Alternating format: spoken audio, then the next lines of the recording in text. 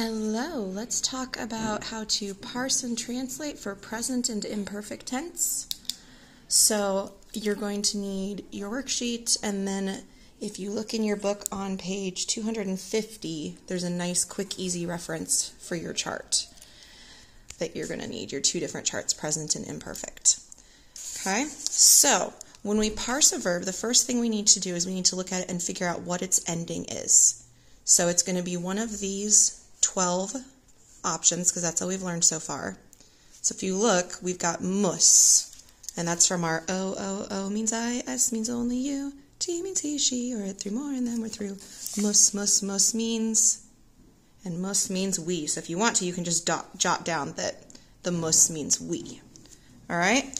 Now, we also have to do some looking up in your glossary. You would need to find video, so V I D E O, and you will see that that means I see. So the meaning of this is just we see. To parse it, what we need to do is we need to find that mus ending in our verb endings chart. So we're going to go over here, and we notice mus is right here. So the first question we answer is what row is it in? It's in the first person row. So we're going to write a 1 for first person. Then we need to say what column is it in, what number. It's in the plural column, so we just do PL for plural. And then which chart is it in? What tense is it? Is it present or imperfect? It's in the present tense chart. So we say PR for present. All right, the second thing we need to do is we need to translate it in three different ways. So one way would be, oops, sorry, not I we, because must means we, see. Second way would be we do see. And the third way would be we are seeing. So a very bad mnemonic is just da. So, because this one we don't have any helping verb, and then the next one we have do, and then whatever the verb is, and then this one is are or am or is. Okay? So, that's that one. If we go to arabatis, our ending on bot, arabatis is batis. So, ara, if you look it up in your glossary, aro means to plow. So arabatis, we need to parse it. So again, we go over here. We need what person is it, what number is it, what tense is it. So person is your row. So we're finding batis. It's in the second person row. So we write two for second person. It is in the plural column for number. And then it is in the imperfect tense chart. Bom, bos, bot, bom, is bot, and bunt. That one. Okay? So second plural imperfect. Now, tis, um, mus, mus, mus means we, tis means you and you. So tis is the plural you. So we shorten that by saying y'all. Now, imperfect tense, the three ways to translate it, we use the abbreviation WUCK. which again is a horrible acronym. But y'all were plowing. Y'all used to plow.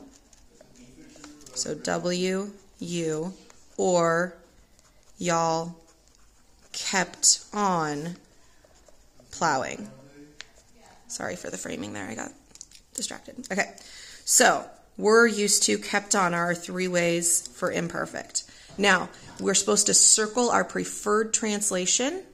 So for present tense, that's the first one. We'll always default to the first one unless it sounds weird. Okay, and for imperfect, we will always default to the were or was version unless it sounds weird.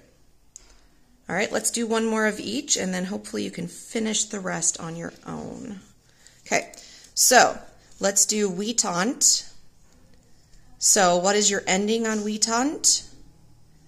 Well, if you look over here, we've got just NT as a possible ending. So NT is our ending, which tells us that it is third person plural, present tense. So third, plural, present tense. Und means, und means they, und means they. So we know our subject is they. Vita comes from vito, vitare, vitavi, vitatum. So it's they avoid. And then remember our acronym to remember the others is DA. They do avoid or they are avoiding. Okay. Vocabam, our ending on that one. Well, we've got bomb. So our ending is bomb. That in our chart is first person, singular, imperfect tense. So first, singular, imperfect. Our acronym for imperfect tense is WUK, bomb. If first person singular, bomb means I. So I, WUK, so we need a W. I was. Voca comes from voco, which is I call. So I was calling. I, next letter is U. I used to call. And then the final one is I kept on calling. Our preferred translation for imperfect tense is the W of WUK, so I was calling. Our preferred translation in the present tense is just the very basic one without a helping verb, so they avoid. All right, so let me know if you have further questions. I can certainly do the other two as well, but I don't want to make this video too long. So, hope that helps. Have a great day. Bye.